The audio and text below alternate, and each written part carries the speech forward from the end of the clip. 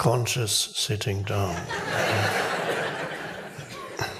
There's a species that has developed out of Homo sapiens, a branch species called Homo touristicus.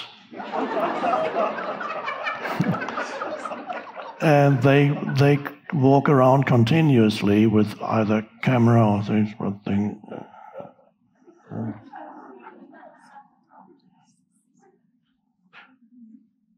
You see them every day, they come in buses. Now, a strange thing is happening right now the internet is down, which means those of you who are joining us from elsewhere will be watching this in the future.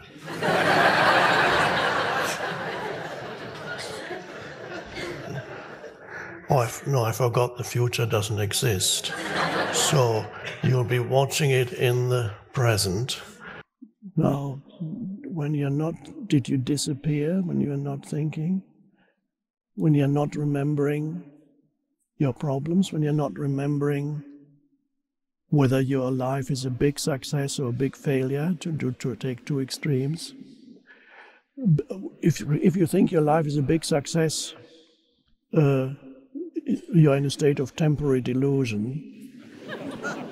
And just wait a little a few times abdominal, a few abdominal breaths, and you are in the body uh, uh, and out of your mind, in a good sense. You're out of your mind. Thank you, I am. Who am I? Because that also, when you ask yourself, Who am I?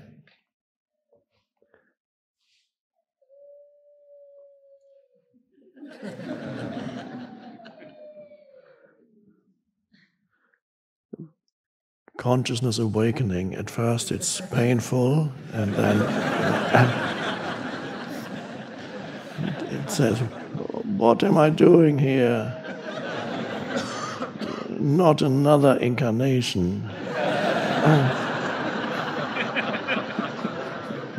I don't go into, I don't advise you to do it either, saying, I have no conceptual identity they probably won't let you in. We don't want people who have no conceptual identity. Hmm. Technology is very difficult. But then suddenly you realize you're, you're nobody any beyond your, your job description and your function that you fulfilled for, for decades, perhaps an important function, member of the board. and and suddenly you're not a member of the board, you're just bored. so a lot of our knowledge is just covering up our ignorance with words. Entire PhDs are like that.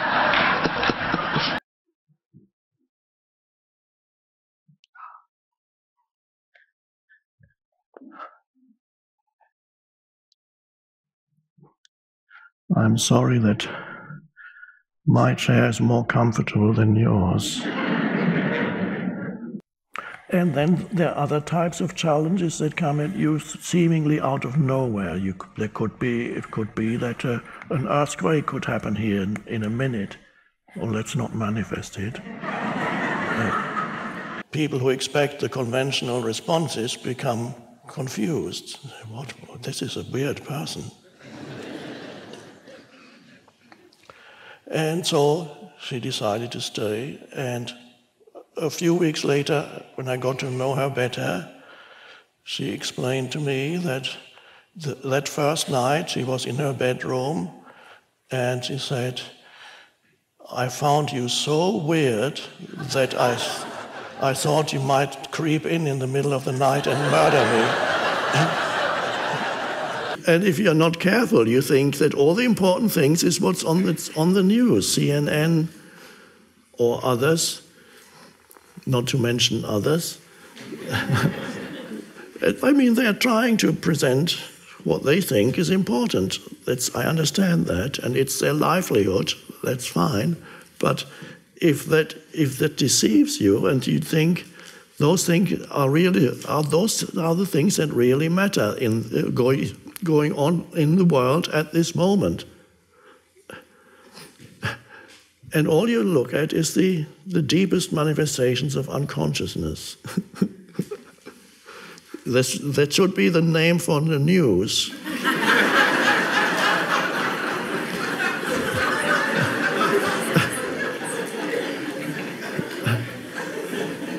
Uh, so you have the six o'clock deepest manifestations of unconsciousness.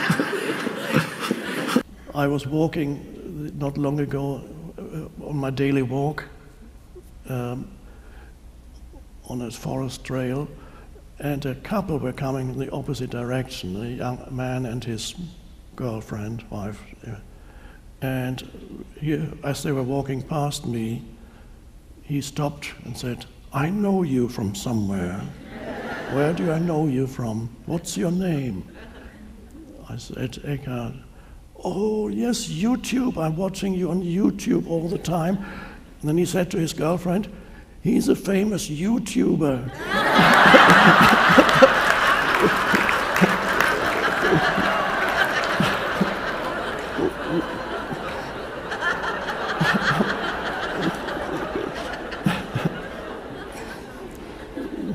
so I have a new identity now.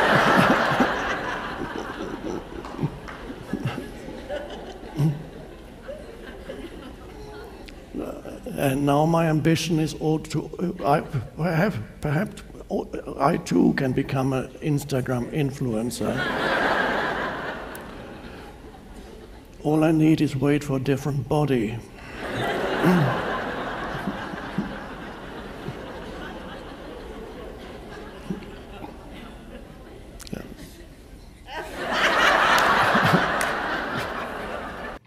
In Thailand, just near Bangkok. Somebody they interviewed some uh, near Buddhist monastery. They interviewed some farmers and uh, farm workers. They would give food to the monks. That's the tradition in Buddhism in Thai, in the South Theravada tradition of Buddhism. The monks come with their begging bowls every morning. They just stand there and then the local people come and put food. They are dependent. It's done on purpose. There's a wisdom behind it. Or the Westerner would say, why don't they work for a living? It's the monks stand there with their begging bowls, and then the poor people who hardly have enough, who hardly have enough themselves, they come and put some food, a bit of rice, whatever, in the begging bowl. and the monks just stand they, they, don't, they don't say thank you because it's a privilege for you to give food to the monks. That's part of the tradition. So the Westerners interviewed the farm workers. They, why do you give your food to the monks uh, when you have so little yourself? And they they were they began to, to, talk, talking to each other and say, well, because we went to uh, we want a better, a better incarnation next time, so we are accumulating merit. So next time we come, we are born into a better condition. And then the Westerner asked, So what do you want to come back as in your next lifetime? And then they talked amongst each other. And finally, the agreement was, We want to come back as tourists.